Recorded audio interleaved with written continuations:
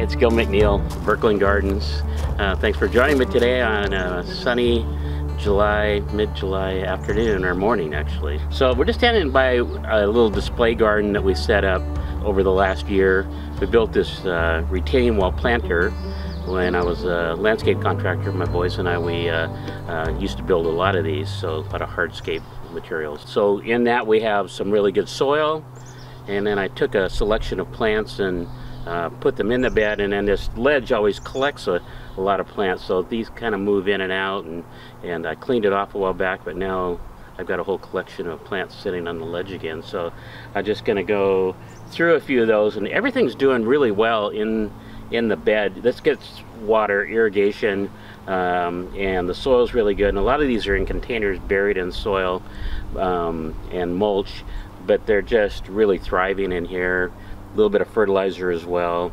I've used a time release uh, granular fertilizer in there and occasionally I'll hit it with a foliar like uh, uh, type fertilizer as well.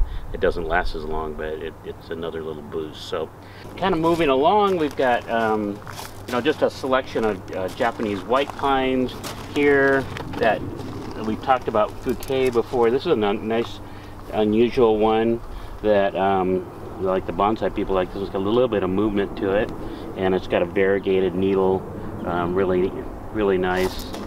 So in the bed, um, I've got a very large Cedrus Cedar deodora down here. Um, it only grows about an inch a year, so this one is minimum of 20 years old, and I'm making an estimate, but um, it is really, you know, the bark is, is thick, it shows the age bark look, nice needles, the flat look. This particular cultivar is called Kater, and it's much like the hedgehog. Uh, they're very similar, uh, hedgehog Cedrus libani. So I've got, we're kind of moved to one end of the bed, and I've got a, a ginkgo biloba. I'll pick it up so you can see it. it it's um, just called a weeping ginkgo on this one here. We have uh, quite a few different varieties, cultivars in at the nursery here, different dwarfs and miniatures and that. But um, I'm always fascinated by ginkgos. The leaves are very unusual and um, they're a deciduous plant, but um, there's upright ones and weeping ones and ones that have white variegation in it. So they're a plant that originates in Asia and I think China.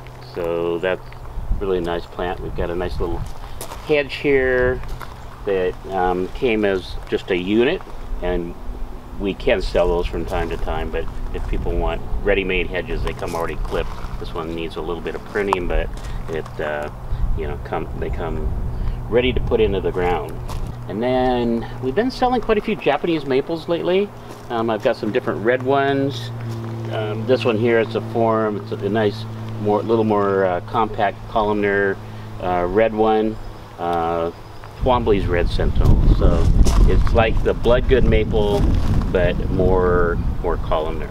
Moving a little farther along in the bed, we've got a, a giant sequoia here. Um, and uh, it's, uh, I think it's a seedling. It's got a little bit of unusual variegation in it. We'll get a, a close-up shot of it too, and you can kind of see it. It's not, uh, it's hard to see unless you get up close to it, but it does have some white variegation in it. And then in the bed again, I've just got a variety of different things, and we'll get some shots of that. Uh, I've got a metasequoia. Um, I've got this fir, this uh, alpine fir, different pines, cedrus, Devinely Blue is in here. A few spruces, a nice blue one, it's a flat one. Some hinoki, golden hinoki cypress, grasses, a Lawson cypress, a cultivar that's a nice blue one. So I've got a, a grass here that I really like. It's deciduous grass, so it, it, I cut it back in the in the wintertime.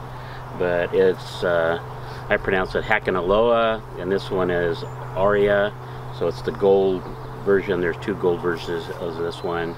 But I just love this grass. The height is about a foot tall. Lays over a little bit.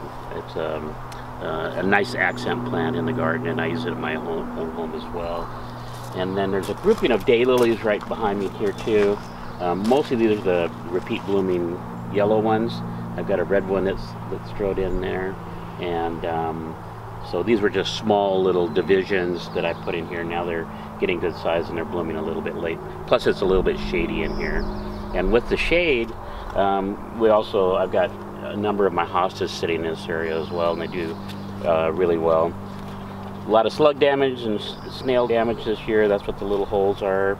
Um, I, I do um, try to control those the best I can, but sometimes you just live with a little bit of that. Um, but I love hostas, and look, my customer have been buying um, quite a few lately. This is a nice one with different variegation in it.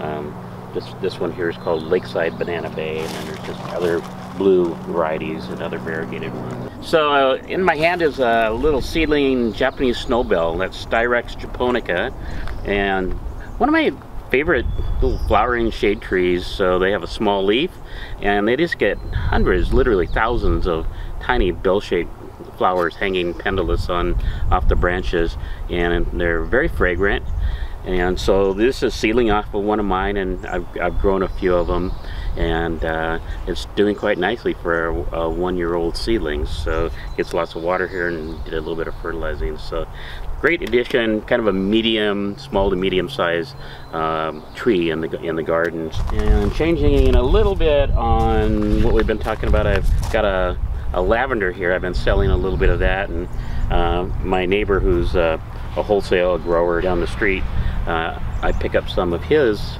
plants to have here at the nursery and he's got three different types of uh, lavender. This particular one only grows about 80 to 18 inches tall so that's a, a nice uh, height where it doesn't like fall over in the wind and the rain and that and um, it's getting ready to bloom right now getting lots of blooms on it. One of the things about lavender I found out over the years is um, after it's done blooming and definitely before winter at some point, um, cut this lavender back and then it'll flush out with nice new growth next year and, and I've seen it so often where people just leave it and you get this brown kind of ugly stalk uh, for the next year and then the blooms come on top of that but it just it doesn't look particularly attractive. So um, cutting your lavender back at the end of the season is something you should do. So looking at a, uh, one other plant before we move on is another um, uh, miniature spruce. JB Broom on a standard. So um, just a little miniature uh, spruce. Uh, cute little plant.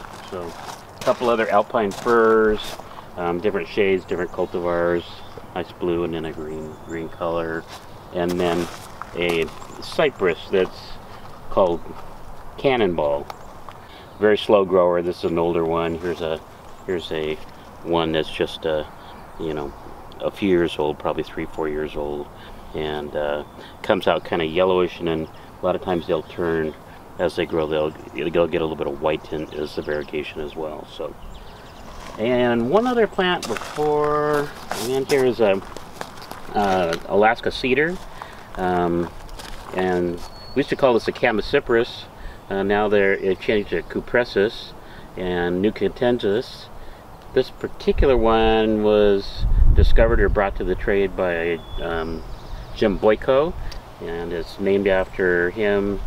Boyko's Sunlight, I believe, is what they call it. It may not be a registered name, but nice nice gold color and the green is really interesting on it nice variegated color these are they just naturally weep down I don't know the habit on this one it looks like it's going to be uh, grow up and then everything weep down there are some very narrow uh, cultivars of Alaska weeping cedar as well so that kind of shows our our bed here for today so I hope you enjoyed the little tour of our display garden. Um, it's just a beautiful day here, uh, shady morning. We're expecting a, uh, a warm day today, but it's very comfortable right now. And you know, the shade from the oak tree here is providing, uh, you know, the shade that we're standing in right now. So I appreciate you joining me uh, today. And again, I hope you liked the video, and I hope you do like, comment, or subscribe to our channel. Thanks. See you soon.